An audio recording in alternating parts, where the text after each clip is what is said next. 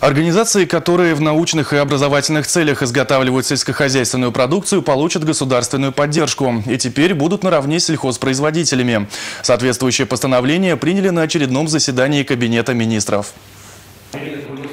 Для обучения и науки шесть организаций аграрного профиля Чувашии ведут активную научно-исследовательскую работу. На опытных сельхозугодиях они внедряют инновационные технологии и занимаются собственным производством. Причем их продукция качественная и конкурентоспособная, отметил министр сельского хозяйства Чувашии Сергей Артамонов. Изменение, которое позволит распространить систему мер господдержки развития сельскохозяйственной деятельности на научные и образовательные организации аграрного профиля, поддержали единогласно. Таких организаций у нас в Чувашской республике шесть.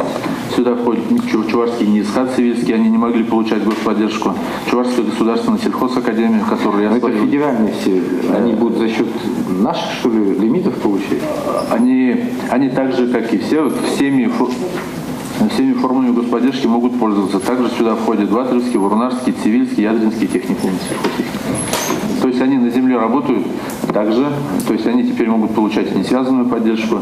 Э, тут э, та же Чувашская сельхозакадемия, допустим. Ну понятно, как обычный сельхозтоваропроизводитель.